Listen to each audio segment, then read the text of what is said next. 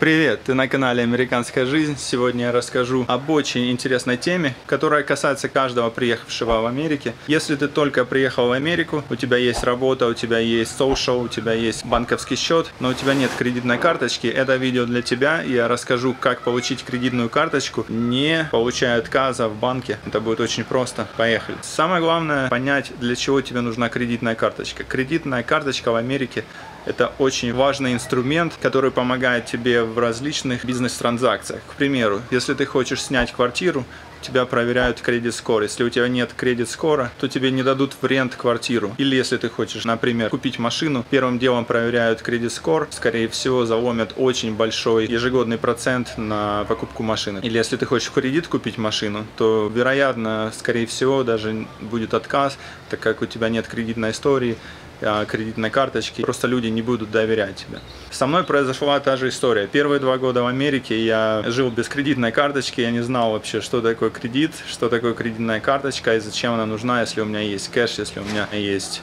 банковский счет, я не понимал просто зачем. Я снимал квартиру с друзьями, я не был главным человеком, который платил за это все, я просто отдавал кэш, и мне как бы это все не нужно было.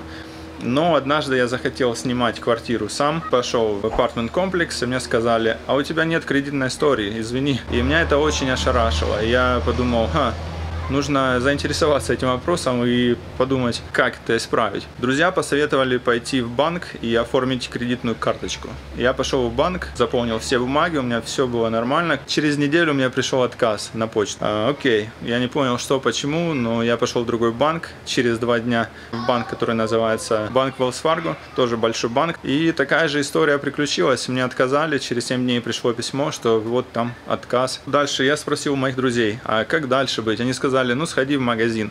Каждый магазин в Америке, примерно каждый, имеет свою кредитную карту. Можно оформить у них и как бы начать развивать кредитную историю таким образом. Пошел я в магазин, по-моему, Рос назывался или какой-то JC Penney. Отказали. Прям там сразу проверили на кассе и сразу отказали. И после этого я не знал, что делать. И вот Просто ждал, мне сказали, теперь нужно подождать некоторое время, может полгода, и сходить опять в банк, спросить, возможно, будет approve. Но прошло полгода, сходил в банк, и такая же история, отказали. В конце концов, я спросил одного из своих американских друзей, что делать, и он сказал мне, окей, сходи в банк, банк называется Bank of America, принеси им 200 долларов и скажи, я хочу открыть Secured Credit Card. Это такая схема, что ты просто делаешь депозит 200 долларов или 1000, ну не меньше вроде 200 долларов а, делаешь депозит в банк, и они дают тебе кредитную линию на количество денег, которые ты положил в банк. Я сделал с 200 долларов, но можно сделать и 1000, и сколько в принципе угодно. И через неделю мне пришла карточка, и все. Вот так очень все просто было. Я два года мучился, не понимал, как это все делается. А если бы мне кто-то подсказал, на ютубе, как я вот сейчас кому-то подскажу, сэкономила бы мне два года кредитной истории. После этого, как ты получил кредитную карточку, нужно заботиться о том, чтобы у тебя кредитная история росла.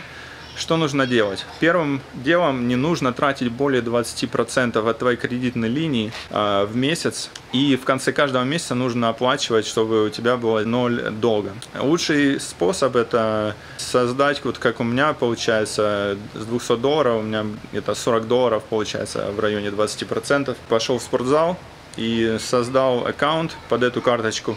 И каждый месяц списывалось у меня 30 или 35 долларов, по-моему, был зал у меня стоил.